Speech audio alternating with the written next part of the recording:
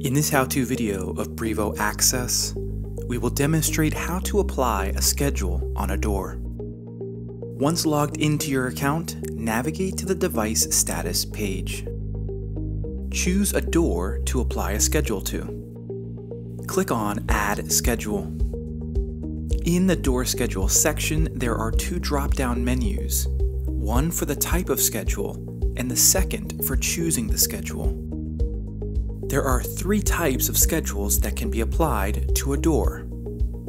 Unlock, card required, and two-factor. When an unlock schedule is applied, the door will be unlocked and not require a credential to be presented through the duration of the schedule.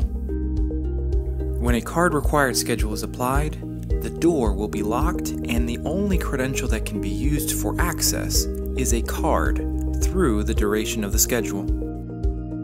When a two-factor schedule is applied, the door will be locked, and users have to present both their card and PIN to gain access to the door through the duration of the schedule.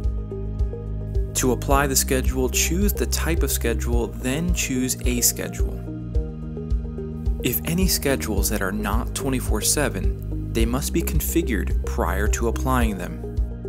Once done choosing the schedule, click the Save Changes button. The schedule has now been applied to the door. Lastly, admins must have permissions to override the door to be able to apply the schedules. They can be found under the Administrator Roles tab. For more information, please visit us at Brivo.com or contact your Brivo account manager.